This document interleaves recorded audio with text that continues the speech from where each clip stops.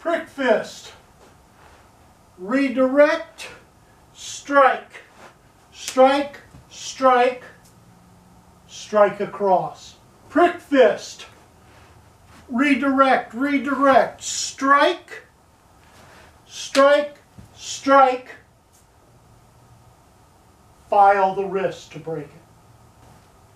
From here, some people just strike here from a collapse stance.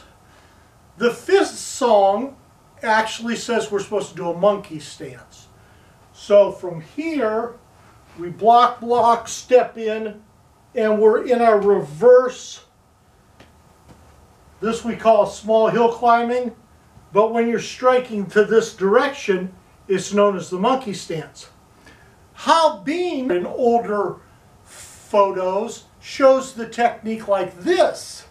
It's a double finger stab up into the groin with a high defend here. John punches, block, redirect, strike into the groin. Notice how I cover my face here.